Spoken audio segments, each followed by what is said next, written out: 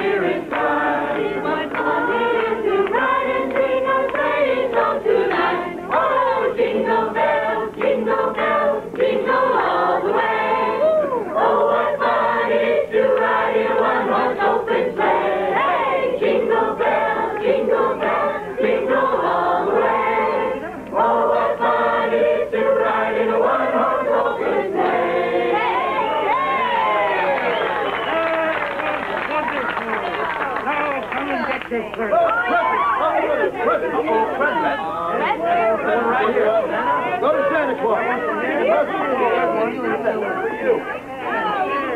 Santa. Thanks, Santa.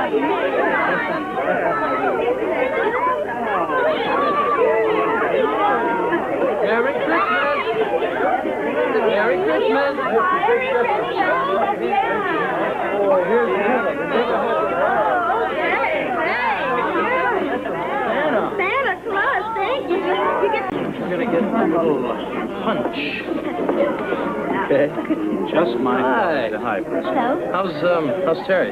She's fine. I couldn't convince her to come with us, though. Well, I don't Yeah. blame her for being upset, but I, I just wish she could have been here. Yeah, me too. I wish you would have come because it would have helped for a few hours. Yeah, I think so. Merry Christmas. Merry Christmas. I didn't put any punch in there yet. Well, it's all there.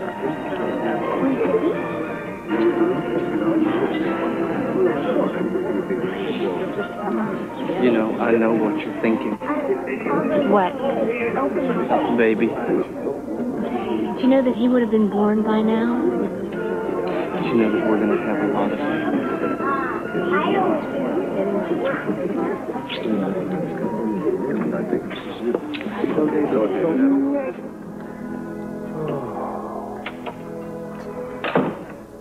Pretty there. Take your coat.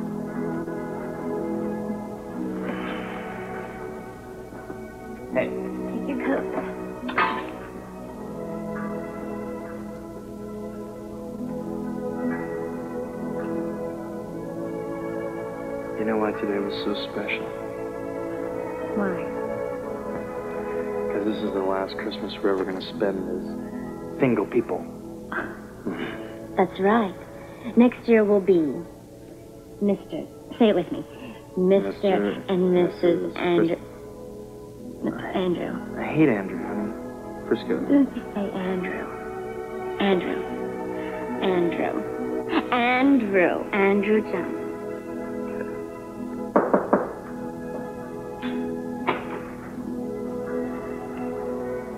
I hope we're not interrupting. You always interrupt. I know. Come in. We thought we'd have one more glass of eggnog for the holiday season wrapped oh. up. What do you oh, say? Present. Yeah, my welcome. Well, I'm glad you came. Yeah, I knew you would be. Hey, you sounded pretty good today, man. You know that? You did too. So I can't tell you how good it felt to have you back again, my friend. And all of us together. Well, we are all together. Yep. Wasn't it a wonderful day? Oops. Throwing this all over the Well. I'm gonna make a toast, okay? Here, you. You. I get the full one. Yeah. Okay. Pitcher? This is two. Don't drink yet. I'm sorry. It's been a hell of a year for all of us. And I guess you could say right now, except for all the pain. Merry Christmas, guys. Merry Christmas. Merry Christmas. All have to click. Greetings,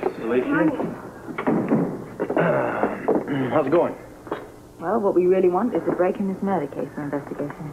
Well, I have a couple ideas. Did I say something wrong? Come in. Excuse me, Ms. Devane. I have an urgent phone message. Is something to do with the Brownstone homicide? Uh, no, but it's... Your orders were that I wasn't to be disturbed unless it was relative to the Brownstone case. It's Sean Donnelly. It's the fourth time he's called. Uh, he won't take no for an answer, and he insists on talking to you. Look, we have some kind of communications problem here. When I say I'm not to be disturbed, I mean it. Miss Cummings and Mr. Jones have a special assignment at the Brownstone. All right. Is Mr. Donnelly still on the line? Uh, no, I said I'd deliver the message to you. Well, tell him that I am in contact with the governor, and as soon as I hear anything, he will be the first to know. Yes, Ms. Devane. D- did you get in touch with Dr. Stone? Uh, no, he won't be at his office until later. Oh. Well, we might as well close down this office until New Year's then, because I can't get a decision from the governor about Sean's problem, and I can't talk to Dr. Stone about Terry Sleepwalking because he isn't in the office. I mean, everything seems to have come to a standstill in this country.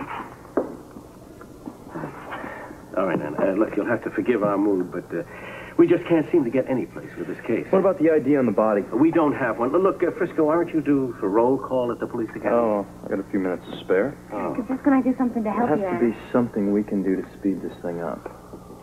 Speed it up. Yeah. Well, keep your eyes and your ears open. You know, clues don't actually announce themselves. Use your perception, sixth sense, you know, whatever it's called. Now, Robert used to call it just plain instinct. Mm, Frisco's very good at that. Oh? What are you doing? Why are you so interested in Terry sleepwalking? This Dr. Stone, did he say it was relevant to the case? Dr. Stone is a psychiatrist general. Well, is Terry the issue now? I was under the assumption that Ted Holmes and Jennifer Talbot were the prime suspects. Everybody is a suspect at the Brownstone. I think Anna's trying to tell us something. I think Felicia's instincts are working quite well. Yes. I think we better leave. Look, listen. Be careful. Be very careful at the Brownstone. Brownstone, you mean home sweet home? Well, I'm not so sure. Everyone there is a suspect. You've got the message. Goodbye now.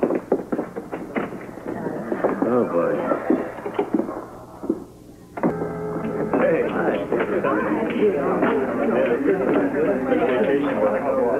right. While you're stuffing yourselves into your seats, let me take this opportunity to welcome you all back. I know you're all anxious that the holiday is over. Yeah. All right. Today we get down to murder one. Are you ready? Rule number one. Most murders are crimes of passion. Rule number two. If there's a murder, there's a motive. That brings on rule number three, which is look for the motive. Rule number four. Look for the motive. Need I say more? All right. Let's say you're the investigator at the scene of the crime. You've gathered all the evidence. The next step is to interview everyone, and I mean everyone connected to the victim. It can be sheer drudgery. It can take years. In fact, it often does. Yes, Jones. So what happens if all the people connected to the murder victim refuse to talk? We have our methods, our techniques. It's called undercover work. And undercover work can take uh, several different categories. Forget about all the dramatics, the trench coats, and the passing secret code words in the dark of the night. I'm talking about subtle methods, such as developing a friendship very cleverly with the uh, witnesses who've been holding back. Guess what? Sir, what kind of friendships are you talking about? Well, you'll learn that in due time. It takes years to develop a good undercover technique. I just don't want to open up that can of peas right now. Sir, Yes, Jones. what else could be done to crack a difficult case? You can have patience, persistence.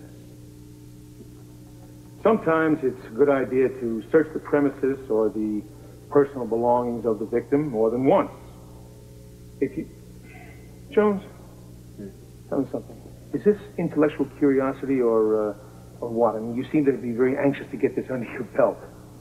Oh, no, sir. I was just curious. Um, Mm-hmm. Well, don't tell me. You're working undercover on the Brownstone murder, right?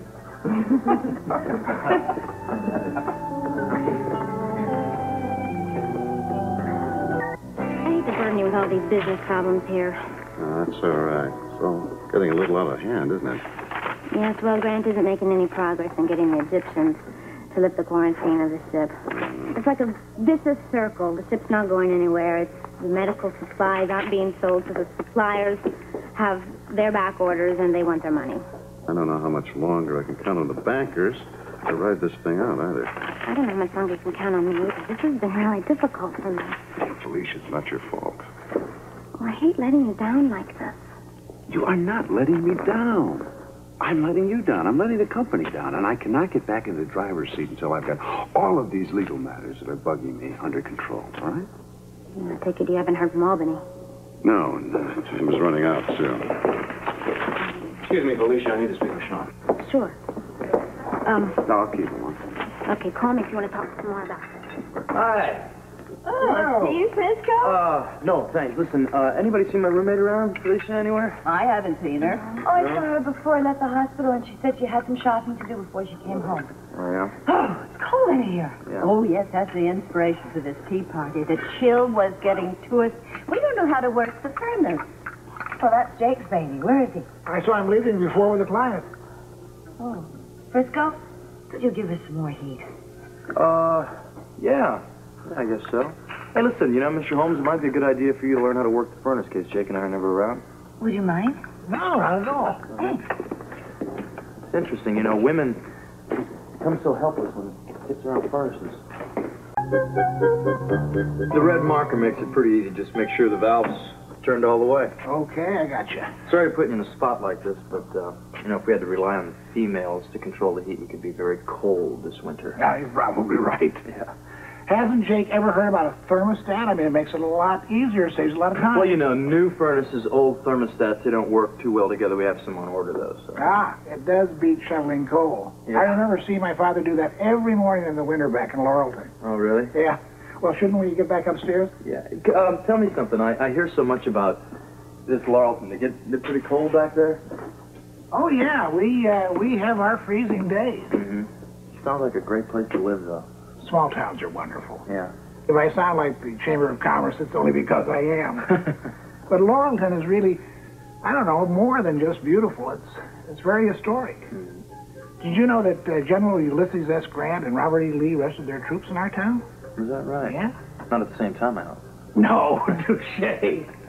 I'd love to go back there sometime, maybe take Felicia on a little trip and, you know, see some of the landmarks. Get Terry to show us some spots, you know, that would be interesting to see. She might even want to go with us, you know, for that matter, if she ever, you know, is ready. Ready? What do you mean? Well, I, I don't know. She has this, you know, this problem. She gets so depressed. I don't know. I think it has something to do with her, her Laurelton past. I- I'm not sure. What do you think? I mean, do you know anything about it? Frisco? No. Oh, I heard you were down here. Hi. Uh, what time would you like dinner tonight? I did a big shopping today. You did. You'll excuse me? You have your choice tonight. Chicken fried, chicken baked, chicken broiled. Oh, Did I say something wrong? Your timing is lousy. Timing? Yeah. What do you mean? I had Holmes right where I wanted him, sweetheart. Here in the basement? No, I I mean alone. No Jennifer, no Terry, just me, him, and the furnace. Is there something meaningful to that? Well, I was doing a little homework. I was trying out a little bit of undercover tactic that I learned in class. I was getting Holmes to confide in me. You know, kind of work my way inside, trying to help Anna and Bert with the murder case. That's great. Well, it could have been. Well, we both can work on it some more. I'll tell you what, you take Ted Holmes, and I'll work on Jennifer. Wouldn't it be great if between the two of us we could figure out just who that murderer is? Be great. You might have to work on your technique a little bit. I, I have to teach you probably. Is to learn? Well, you have to be, you have to be very subtle about these things. Subtle. Mm-hmm. But I mean, not too subtle. Well, what did you have in mind? The technique of uh, discovery is a key item.